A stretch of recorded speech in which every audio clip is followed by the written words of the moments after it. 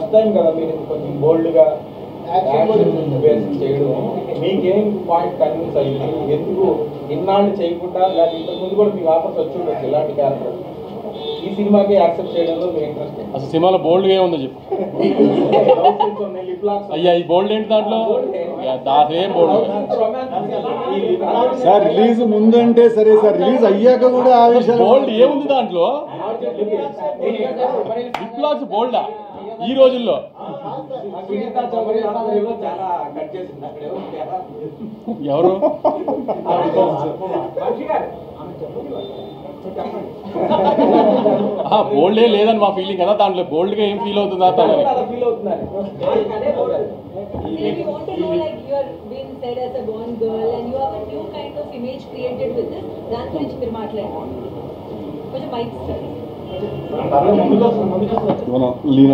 Yeah, yeah.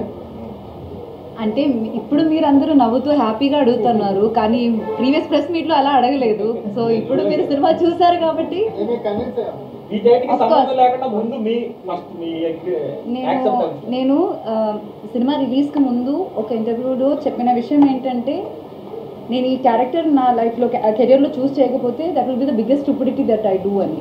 మీకు అది ఇప్పుడు అనిపిస్తుందా లేదా? ఇప్పుడు దాకా నేను చేసిన క్యారెక్టర్ నుంచి కొత్తగా ఉందని మీరే అంటున్నారా లేదా?